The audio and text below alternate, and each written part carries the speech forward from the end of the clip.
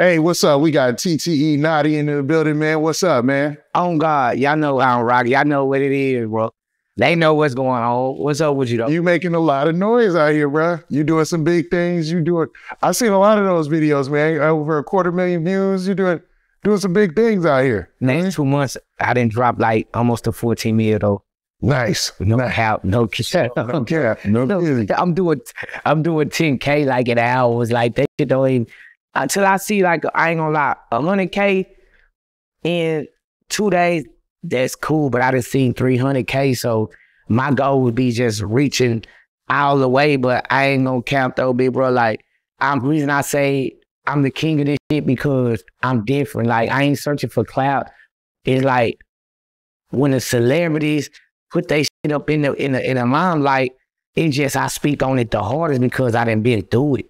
Yep. So when I didn't through it, it's gonna hit harder than anything. I never cheated the code to get here.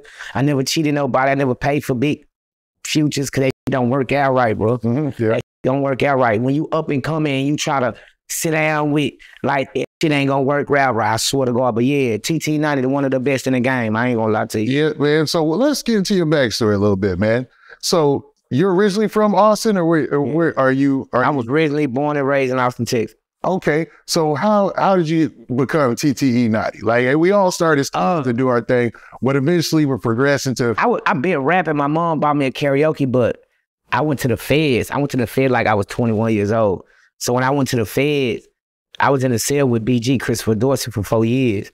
And now BG meaning the rapper BG. rapper BG. Wow, I Yeah. you was you were locked up with BG. I just wrote, uh, yeah, I just wrote him like three days ago. Uh, Pop Austin, they, they sent it out for me. I, I gave them a letter and sent it out. You know what I'm saying? So yeah, I know how it is up there in the, up there in Kentucky. I was just in Kentucky, but he at the FCI. But I was in there with him, and uh, I started taking everything serious. But my grandma used to tell me that she said, "You a preacher, but you're a different type of preachers. You're a different type." You know I hear, saying? I hear it when you speak it, man. I hear, I hear that you got that, and I hate to draw this comparison. You got that Charleston White type of thing. See. I don't see no harm in it. Yeah, because you got it's like it's said with conviction. You know what I'm saying? It sounds like almost like you're preaching. You know what I'm saying? I'd had some fans like, dang, you see the reconnect, uh, re- reconnection you like, like, bro, like you that hard. So I just take it. I don't take it as disrespect because I know what I'm doing for the community. I know what I'm doing for the voiceless. And that's what I'm trying to reach. The people that I speak for the people that scared or can't speak or don't want to speak. That's up. That's what's up. That's what's up. Now, could you talk a little bit about being locked down with BG? Like, you know, BG, Cash Money, one of the biggest rappers in the game. Like, how does that how does that change you?